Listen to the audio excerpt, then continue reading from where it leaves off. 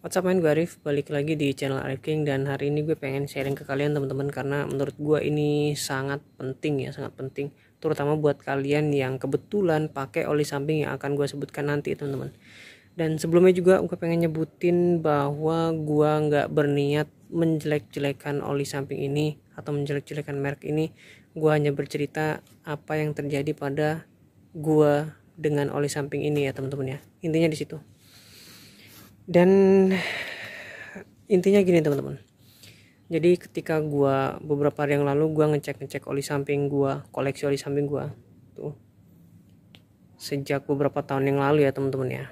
Nah jadi gua tuh ketemu satu oli samping yang menurut gua uh, dia punya sifat yang berbahaya buat motor dua tak gue terutama ya. Dia punya sifat yang berbahaya. Bukan karena dia ngerusak mesin bukan bukan karena performanya jelek bukan bukan karena dia berisik dan lain-lain bukan teman-teman. Tapi karena dia punya sifat mudah mengendap dan juga endapannya itu nggak gampang larut teman-teman. Biasanya kan dikocok doang tuh hilang tuh ya namanya ngendep ya. Tapi ini nggak gampang nggak gampang hilang gitu loh.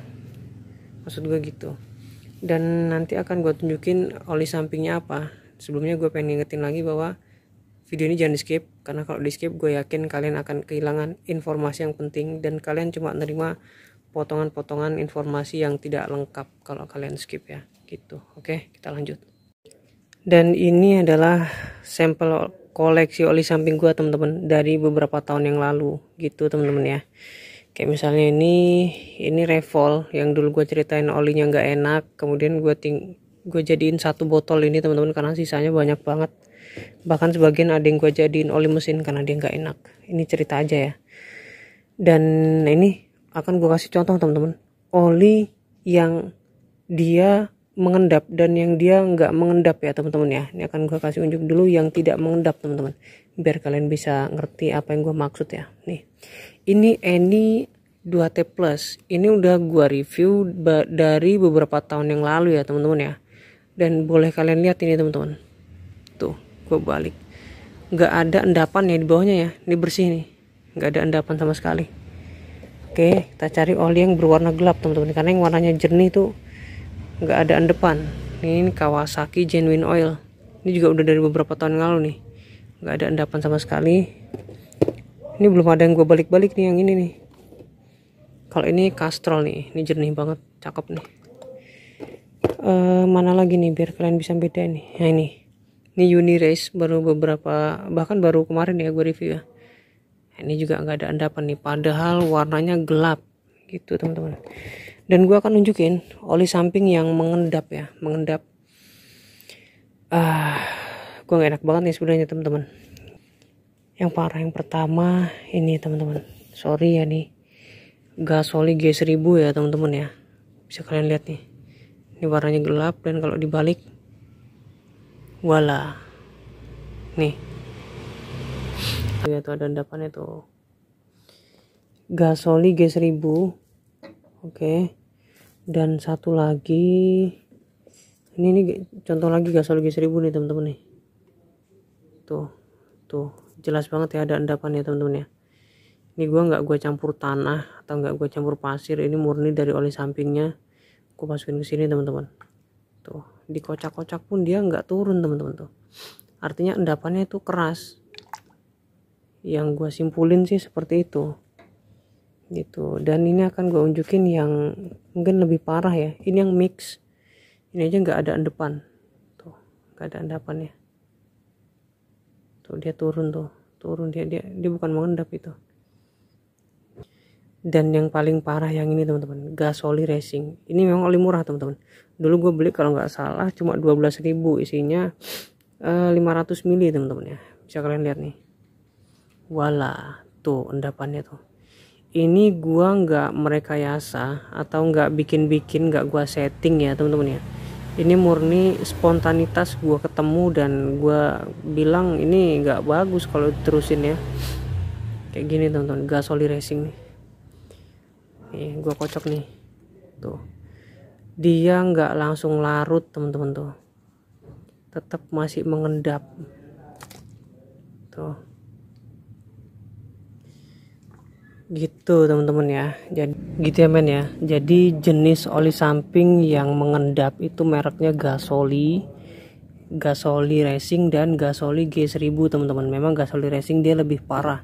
Cuma kalau Gasoli G1000 dia memang endapannya lebih sedikit dan juga dia masih larut teman-teman. Dikocok-kocok tuh masih larut. Itu kalau di dalam botol teman-teman. Dikocok-kocok masih larut ya. Nah cuma kan masalahnya teman-teman. Ini dia posisinya nanti kan di dalam box oli samping nih ya kan? Box oli samping. Yang paling cepat ngendep tuh di sini nih di bagian bawah nih tampungan air dari box oli nih. Di situ biasanya sering ngendep. Dan juga ini kan di dalam selang ini kan siapa yang mau ngocok di dalam sini nih? Siapa yang mau goyang-goyang kayak gini? Tiap seminggu sekali atau sebulan sekali. Siapa? Pertanyaannya kan gitu. Dan juga teman-teman yang berpotensi paling besar untuk terdampak dari endapan oli samping itu adalah di bagian sini teman-teman di bagian pompa olinya teman-teman. Karena di situ kan memang dia bergerak. Cuma ada sisi kayak tikungan-tikungan gitu. Sorry gue di sini nggak bisa nunjukin tapi gue pernah bersihin dan di situ memang banyak banget endapan yang dulu gue belum sadar itu dari mana datangnya. Kenapa bisa ada kotoran segitu banyak. Di situ gue nemuin ada endapan-endapan dari oli samping yang kemudian dia awal awalnya lubangnya segini lubang transfernya. Kemudian kecil kecil kecil kecil dan akhirnya apa ya seret gitu loh. Aliran oli samping tuh nggak lancar. Itu yang gue bilang berbahaya teman-teman. Dan sini lagi ada selang kecil. Ini selang kecil kalau kita posisi diem begini kan ini kan oli nggak ngalir nih.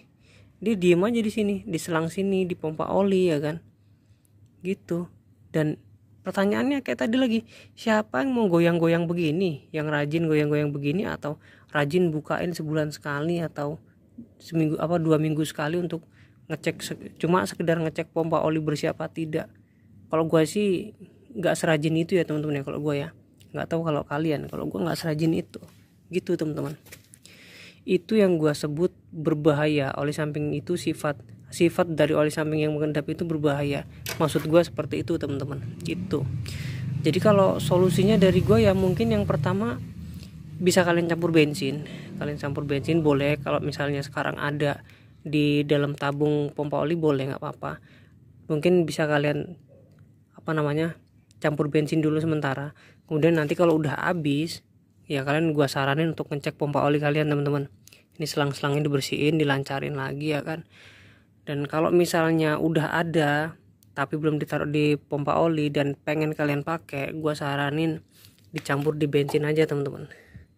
Dicampur bareng di tangki aja di mix on tank teman-teman gitu karena itu akan lebih mudah larut dan lebih apa ya karena kan di tangki kan kocakannya kan kocokannya tuh lebih lebih dahsyat gitu kan karena kena getaran mesin jadi dia lebih gampang larut lagi. Gitu teman-teman ya. Sorry banget teman-teman buat kalian yang lagi pakai oli itu bukan niatan gua untuk menjelek-jelekan ya teman-teman ya. Karena memang oli itu untuk performa bagus banget. Cuma ada yaitu ada sifat yang menurut gua berbahaya buat mesin kita teman-teman gitu. Oke gimana pendapat kalian teman-teman? Tulis di kolom komentar gua pengen banget tahu apa pendapat dari kalian. Thanks for watching dan sampai jumpa di video gua selanjutnya